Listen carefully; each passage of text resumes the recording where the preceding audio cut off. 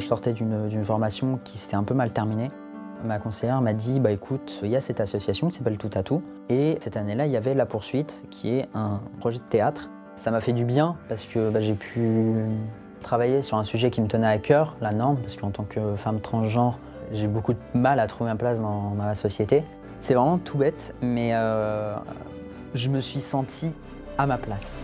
Parce que trop de jeunes se perdent en route, l'association Tout à Tout permet à une cinquantaine de jeunes dans une dynamique d'insertion de s'émanciper par la création artistique. Parce qu'on peut tous agir pour un monde plus solidaire. Engageons-nous. Fraternité générale.